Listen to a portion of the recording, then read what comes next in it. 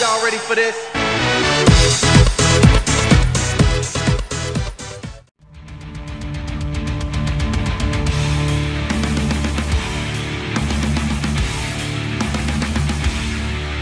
Let's get ready!